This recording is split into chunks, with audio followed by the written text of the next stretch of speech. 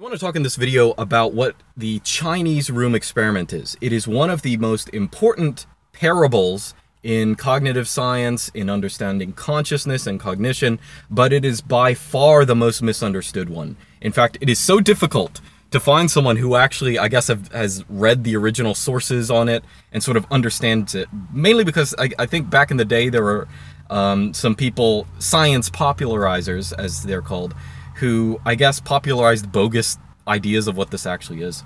Um, so let's talk about it. What is the Chinese room experiment? Why is it important? So as a background, you know, at the end of the Second World War, it was very common, you know, computers started being a thing. So a lot of people were interested in understanding human cognition, maybe even consciousness in terms of computers. Okay. So there's this thing called the computa computational theory of mind. And the idea behind it is that, you know, really you can look at the mind as being a kind of computer.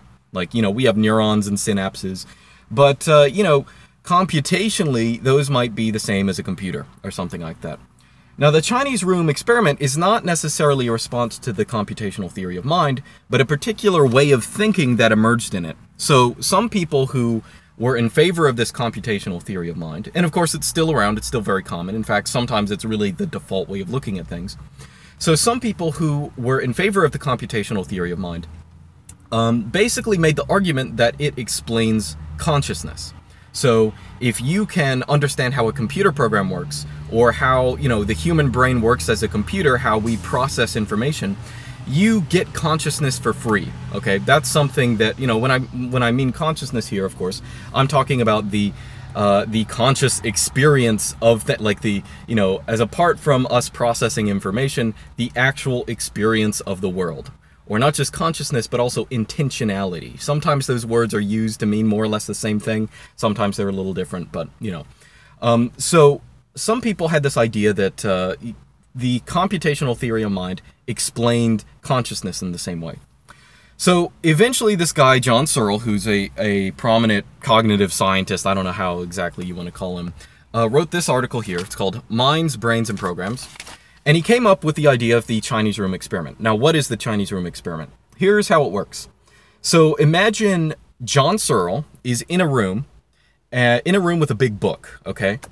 Now, what happens in this room is there's a little slit in the wall, and there's a Chinese guy on the other side of the wall. So here's what happens. The Chinese guy, he can write something in Chinese, and he puts it in the slit in the wall, and John Searle can pick that up. Now, John Searle has no, no knowledge of Chinese whatsoever, okay? But in this room, there's this big book, and he can look up a character in the book, and it doesn't, it's not a dictionary, it doesn't tell him what the character means, but it says, in response to these characters, perform this operation on the string, and then write these characters in response, okay? So the person can give him a sentence in Chinese, and the book and the, you know, in the room, him with this book can produce a response in Chinese, and he can send that response back. So, about this, why is this important for consciousness? Now, Searle's point here is that he, in the parable, does not understand Chinese, okay? He is not, he's not aware of what he is saying in response.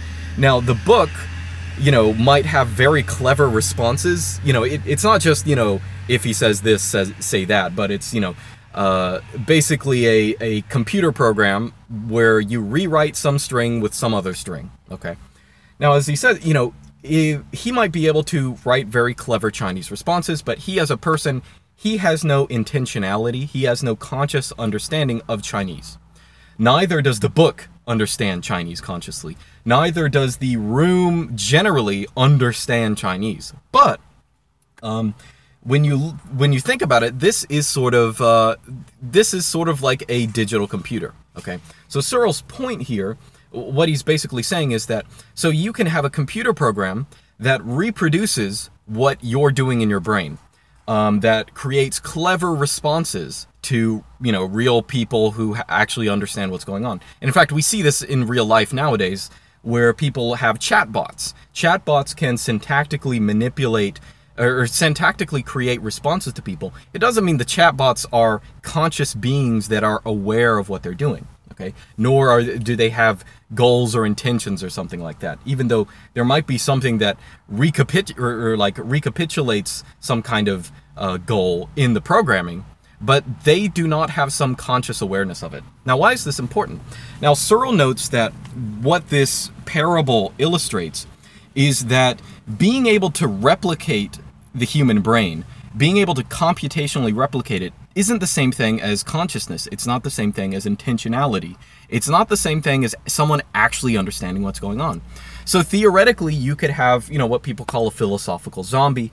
That is a person, or a person, quote unquote, that looks and acts like a human, but might not actually really have, you know, awareness of what they're doing. Okay. So, why is this a controversial parable? Now, I think most of you guys probably understand, you know, where it's coming from. You can probably think of some responses, um, but this parable has so been so systematically misunderstood. It's worth talking about why. Now, how is it usually misunderstood?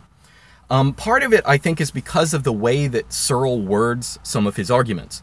Um, but people usually think what the Chinese room experiment means is that Searle believes that only human brains can have consciousness. Okay, and that's because in the paper he actually says, um, you know, consciousness. Um, we know that consciousness, or we can say that consciousness exists due to some of the chemical properties of the brain. Now, really, what he means is not like, uh, you know, the the physical brain goo is the thing that's conscious, but what he means is not just the syntactic programming, but the other mechanical properties of the brain that are not just programming, but they're also understanding that generates consciousness. And we don't actually understand how that works, but Searle's argument is simply that syntactic processing, being able to process information, is not a sufficient condition for consciousness or intentionality. But people misunderstand this to mean something like, oh, Searle is saying that, um, you know, only human brain, only the gooiness of human brains can understand people. So when I say certain people have misunderstood this, chiefly, I mean, the two people that are most common, that, you know, people get the most misunderstandings from is um, Steven Pinker wrote this terrible book called How the Mind Works, where he has this very smug rebuttal of the Chinese room experiment, which basically amounts to him misunderstanding it. He basically says, Searle just thinks, you know, there's something about human brain goo that makes it possible for you to, you know, consciousness to exist. Okay, that's not true at all. Uh, I'll read some of his actual article rebutting that. Uh, but in addition, Daniel Dennett, of course, who has extremely weird views uh, himself, he basically doesn't believe in consciousness. That's that's another topic. Um, but he also wrote a book called, uh, what is it, Consciousness Explained, and he basically misunderstood or misrepresented the Chinese room experiment in the same way. Okay, so to be clear, I'm going to read, we're going to do something radical. We're actually going to read, not the whole thing, but a couple points from the ab the abstract and the rest of the article just to clarify that this is not what Searle says. So Searle says here, this is in the abstract, so theoretically people should read this. Um, could a machine think? On the argument advanced here, only a machine could think and only very special types of machines, namely brains and machines with internal causal powers equivalent to those brains. That is, he's saying, yes, brains can think, think in this way, meaning having intentionality, having consciousness, and so could machines if they not only have the same syntactic programming, but they have the same uh, awareness of what's going on. They have the other causal properties that the human brain has. Um, and this is why strong AI, oh, and he also coins the concept of strong AI, which basically is the idea, uh, I, I, guess if you take the computational theory of mind, the idea of strong AI would be creating computation means explaining the entirety of the human brain, including consciousness. So he says, uh, that's why strong AI has little to tell us about thinking, since it is not about machines, but about programs. Uh, and a program by itself is uh, and no program by itself is sufficient for thinking. And keep in mind, he's defining programs in this context as being something that are specifically syntactic. All right. Now, just in case isn't this isn't totally clear, there's another little point where he has a dialogue. Let's read this out. Again, the only reason I'm, you might be saying, why are you beating a dead horse here, Luke? It's because basically every single person who has strong opinions about the Chinese room experiment has like not read the original paper or just totally misunderstand it, stands it because they read like Daniel Dennett or Steven Pinker or something like that. Anyway, so here is Searle going on a dialogue with himself. Okay, could a machine think? The answer is obviously yes. We are precisely such machines. Uh, yes, but could an artifact, a man-made machine, think? Assuming it is possible to produce artificially a machine with a nervous system, neurons, and axons and dendrites, and all the rest of it sufficiently like ours, again, the answer is, um, again, the answer, sorry, I lost my train of thought. The answer to the question seems to be obviously yes. If you can exactly duplicate the causes, you should duplicate the effects. And indeed, it might be possible uh, to produce consciousness, intentionality, and all the rest of it using some other sorts of chemical principles than those uh, than those that human beings use. It is, uh, as I said, an empirical question. Um, so just to continue the dialogue, okay, but could a digital computer think?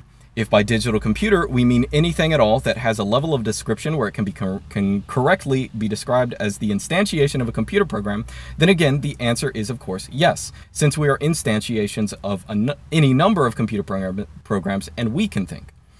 But could something think, understand, and uh, so, uh, but could someone something think, understand, and so only solely on virtue of being a computer program with the rights, a computer with the right sort of program? Um, could instantiating a program, the right program, of course, be in itself sufficient a sufficient condition of understanding? Uh, this is what I think the right question is to ask, though it is usually confused with one or more of the earlier questions, and the answer is no. So what he's saying here, he's not saying that the brain physically is required. You need the gooiness of the brain to think. He is saying that if you have, you know, if you have this, if you have just a program, that replicates what the human brain can do. You do not have consciousness, or you might have consciousness, but you don't have proof that you have conscious, consciousness or intentionality. We can easily write a computer program that has no conscious awareness of what it's doing. Now, maybe in some views of consciousness, consciousness that are extremely liberal, like there's just consciousness everywhere, and uh, you know, um, you know, e even a computer program is totally aware. If you have a, a, view that liberal, I guess you could say that the computational theory of mind makes sense for consciousness here. But Searle's point is for most, the thing to remember, uh, the way he puts it actually in this book, which I also brought, Mystery of Consciousness, this is actually a good book. I read, it's very small, uh, cheap, but it's also a good book. The way he puts it in this book is the argument of the Chinese room is very simple. Programs are syntactic, consciousness and intentionality are semantic and syntax syntax doesn't require semantic or doesn't entail semantics. You can process information without understanding it. That's basically the idea.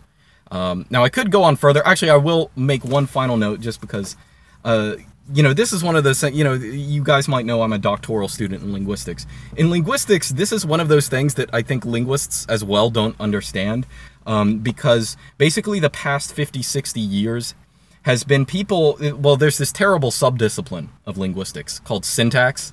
And uh, syntax in the past 50, 60 years has basically been just people finding formal traits in language, like formal, like programming traits, basically, like the if the formal operations in it, and drawing from that conclusions about like the deeper structure of language or the inputs or the outputs to some kind of linguistic system.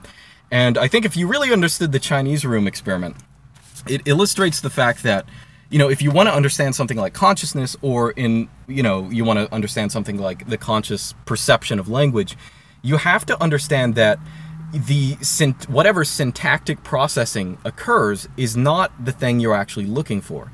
You're actually looking for, you know, you're looking for something we don't quite know now, know yet how to model, with digital computing. Digital computing does really well, like understanding programs and stuff like that. But as for how the brain produces like the conscious awareness of of language or anything else or how we can actually see colors and they appear in our cognitive theater that's something we don't really understand and that's not something that um, the computational theory of mind at least in the way that it exists now can actually give us really good answers um, so that that's sort of the point behind it um, so anyway, hopefully that's been, I guess, uh, again, I recommend you get this book, Mystery of Consciousness. It, it actually is really funny. Um, I mentioned Daniel Dennett. There's actually a back and forth between Searle and Dennett here. And it's the most hilarious thing you'll ever see because, like, you'll realize, like, basically Searle says what I said. You know, so Dennett again wrote this book that basically amounts to he doesn't believe in consciousness like he think it, thinks i mean it, that's an insane thing to believe because basically the one thing that we all have proof of existing is our consciousness, you know, I think therefore I am kind of thing. You would think that you could deny the rest of the world that it's all a big illusion. Uh, but uh, Dan- Dennett really turns that on his head and says consciousness doesn't exist. It's an illusion. The, the one thing we actually do perceive, everything else is real. But uh, they have a back and forth, and like Dennett's response is like so petty and hilarious that uh, it's funny enough to read. Um, but yeah, I recommend this book, Mystery of Consciousness, and read the original articles. And just read the original articles before you have strong opinions about something. That's that should be the takeaway. All right, that's it. I've gone on long enough. See you guys next time.